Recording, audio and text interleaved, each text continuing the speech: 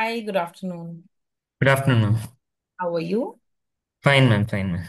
Good. How are you, ma'am? all good. So, decided finally where you would be joining it? Uh, not yet, ma'am. I'm still considering the options. Okay. I was thinking you would have been sure by now. Okay, take your time. Make sure that you take the right decision. Yeah, ma'am. Sure. Okay. So, Joe, let's let's talk about, you know, uh, you you know, you go ahead and tell the audience about uh, what you have cleared, which exams you gave, and what was your journey about. Okay. So, ma'am, I joined for the Artha, Artha Point course last year uh, by I think the end of June. So this year I gave my uh, JAM, GATE, and CUET PG entrances, and I'm, I was fortunate to get the eighth rank in JAM, uh, 12th rank in GATE, and ninth rank in. Yeah. Yes. And how how did that happen? What was your journey like? What did you prepare? How did it go? So in the beginning few months, like I had the liberty of time with me. So since we started off with microeconomics, I think uh, since we were only focused on that subject for the initial few months, I was able to go ahead and revise micro in quite detail. So ever like when we had these um, full subject tests in micro, I, I was able to go ahead and repeat the DPP starting from uh, the first one and again, the revision was taking side by side. So I think that helped me in the initial stages to like form my base in micro, especially. And then as we started off with subjects like stats and macro, again, though it started to get a bit hectic, still I was able to keep up with the revisions and DPPs. And then um, I think by the end of November, something like I started doing the other subjects as well. Okay, maths was also going side by side, but um, as it started getting a bit hectic, I was not able to finish all the DPPs in maths. I think it was at that point that I'd contacted you as well. Like I was, I felt I was lacking a bit of practice because I was mostly focusing on those topics in which I felt a bit weak. So when I contacted you, you said uh, stick with the question bank and also the PYQs because when we do that, it usually covers most of the questions that come for the exams. And I think it uh, it helped me. It worked in my favor, so it went well. And aside me, I was also uh, looking into other subjects like Dev Eco International. But how, um, having said that, I was devoting most of my time to the major four subjects, microstat and yeah, And maths and uh, maths and macro. Yeah. so usually, you know, this is this is what I tell students that initially focus a lot of your time on micro because it's the most tricky subject. Like you Yes, correct. done theoretically microeconomics in your college, and what comes in exam is very practical in nature. Other subjects like macro, you always see theory there and see theory here, so it's doable.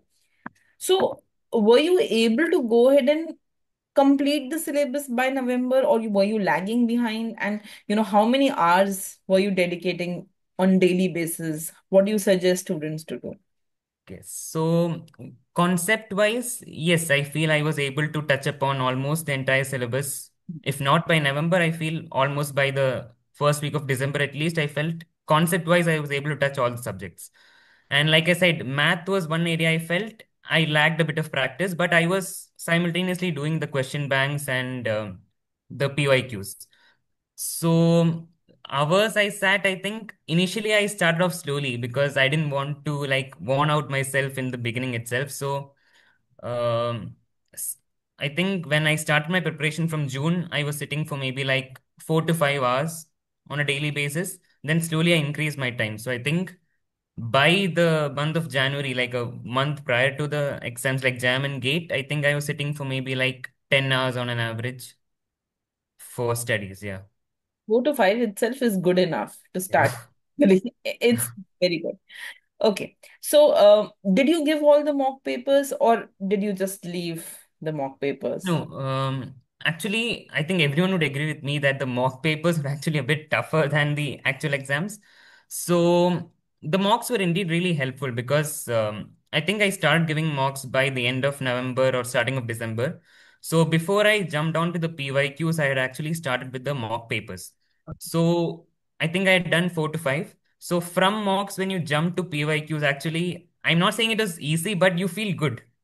Like I felt like I was going in the right track.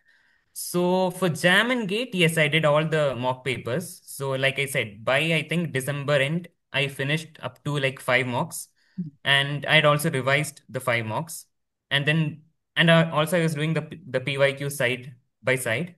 And since in Jam you don't have a lot of PYQs, I think it gets a bit easier as well. You just have four or four past years, and then um, in by January I finished the other five mock as well, and I kept on repeating. So the month prior to Jam and Gate, I was solely focused on the mock papers and the past years. Got it.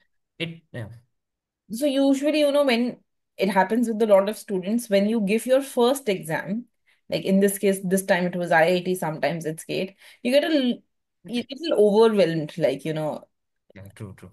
even if you have done very well, you may feel that, you know, probably didn't went that good. And then the next two, three weeks, just you you go back and keep looking at that first paper that you had given and whether you have done it right or not. And you don't get past it to prepare for the next one. So how was your journey once you came out of the examination hall? What made you prepare well for the other two exams, major exams, GATE and CUET?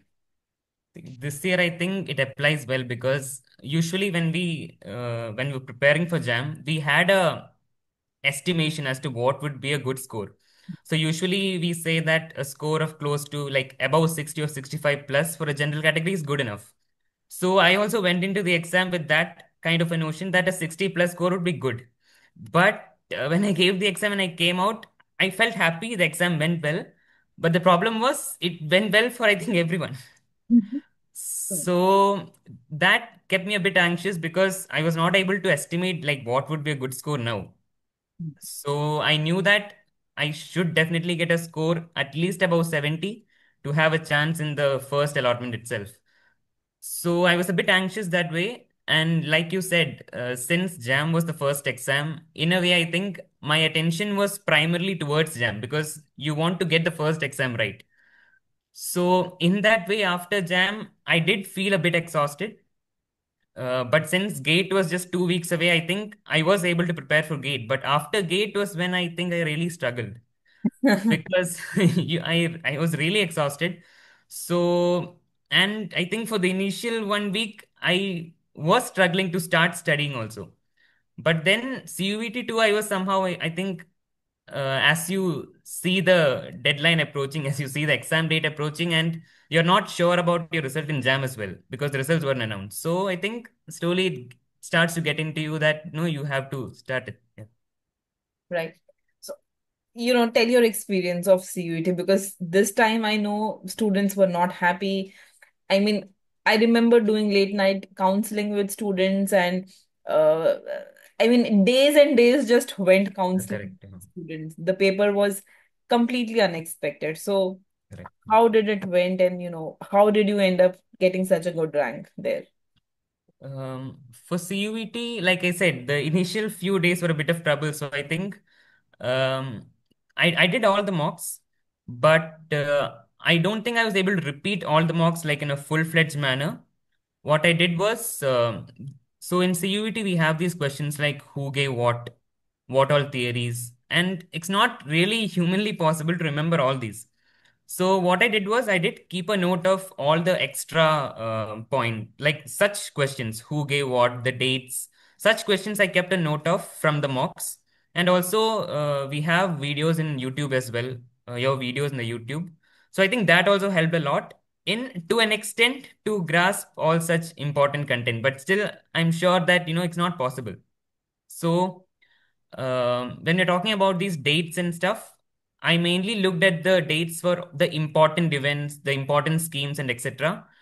And for others, I mainly checked for the uh, names of authors, books, and etc. But in this year's CUET, they actually asked for the chronology.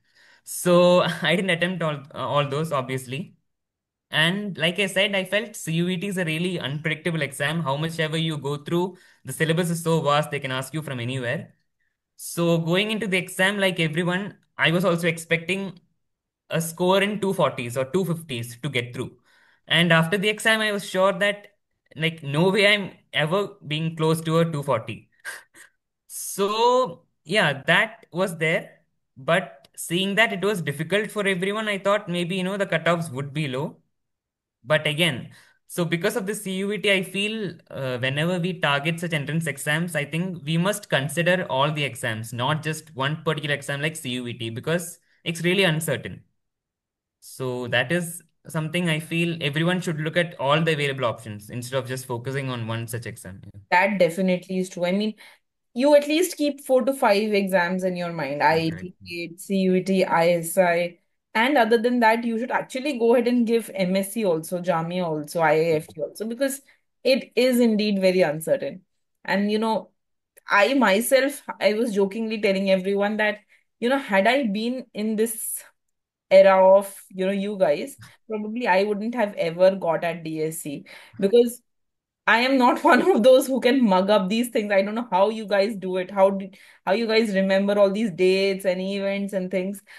And we were lucky enough that during our time, DSE was completely mathematical exam and it was all concept based exam. But it is so unpredictable and it is it's not even testing any knowledge anymore. I mean, to Correct. Yeah. be frank. Eh, Hats off to you guys, how you remember so much of data in your mind. And it makes no sense. I mean, just imagine why do you want to remember something which is Yeah, completely correct. available And I don't think a week after the exam, anyone would be remembering all these also. I know, I know. And not only that, I mean, it's not even useful once you get into a good institute. Correct. Yeah. Neither DSE, nor IGIDR, not ISI, uh, IIT, anyone would be testing you for the next two years. And after you get into job, absolutely useless. So I'm not mm-hmm. sure why they are, I mean, it makes still sense if you get, you know, want to go to IAS or IES or probably you want to clear net.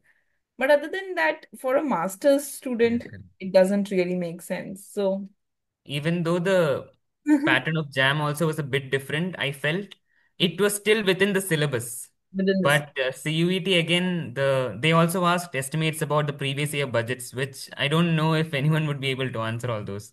Yeah. unless you're preparing for economics optional Yeah. or mm. IES.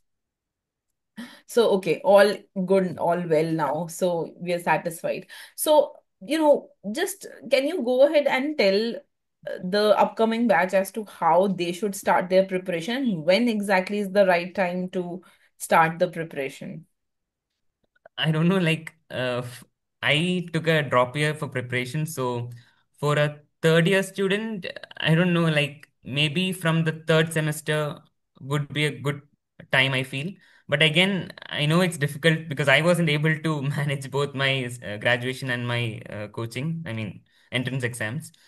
But other than that, in terms of preparation, I feel uh, we must take the first five months. If if uh, if I'm talking about myself, when I started from June, the first uh, initial few months, at least till November, must be taken towards concept building. And then I feel if I, if a person is targeting JAM, especially the last two months would be like or should be uh, given priority for uh, mock tests and PYQs because especially I would focus on mock tests because JAM is a three hour long exam. So it's not always possible that you can sit through the exam. Most often than not, by the end of two hours, you get exhausted or you lose focus. So I think mock tests are really essential. Also, uh, in mock tests, there may arise, especially uh, in our batch, I feel all of us have come across situation wherein you might not get four questions in a row, and that might cause a bit of panic. So I think it is essential that we get uh, accustomed to such a situation, and that would not that would help us in the actual scenario. Also, um, yeah, uh, one problem for me was that uh, the timing of the exam is just after lunch, the time from two to five. So that was a bit troublesome for me. So what I did was in the previous month in January, at least the last four uh, four to five mocks, I started taking it in that time slot, the two to five slot. I think that also really helped me. I don't know about others, but yeah. Good. And that's addition. I mean, I never thought it that way, but it's a good thing that students should keep in mind to practice it in the same time slot. Mm. Good. Okay. So, uh, I wish you all the best for your future ahead. Thank you, ma'am. You know, once you select your institute because now you have three or four good options. Keep me uh in, you know, just keep me informed. Let me know Yeah, where you sure, sure, ma'am. Sure, ma'am. Yeah. Thank you. All the very best for your future. Thank you, ma'am. And thank you for this platform also, ma'am, to present myself. Thank you so much. Yeah. Thank you for your time. Bye.